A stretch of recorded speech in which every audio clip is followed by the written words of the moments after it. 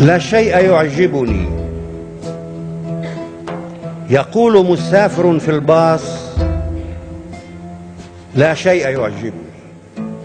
لا الراديو ولا صحف الصباح ولا القلاع على التلال.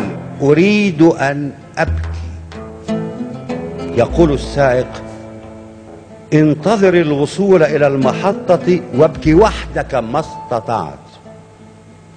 تقول سيدة أنا أيضا أنا لا شيء يعجبني. دللت ابني على قبري فأعجبه ونام ولم يودعني. يقول الجامعي ولا أنا. لا شيء يعجبني. درست الأركيولوجيا دون أن أجد الهوية في الحجارة. هل أنا حقا أنا؟ ويقول جندي أنا أيضا. أنا لا شيء يعجبني. أحاصر دائما شبحا يحاصرني.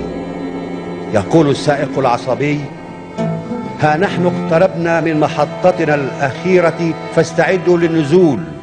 فيصرخون نريد ما بعد المحطة فانطلق. أما أنا فأقول أنا مثلهم.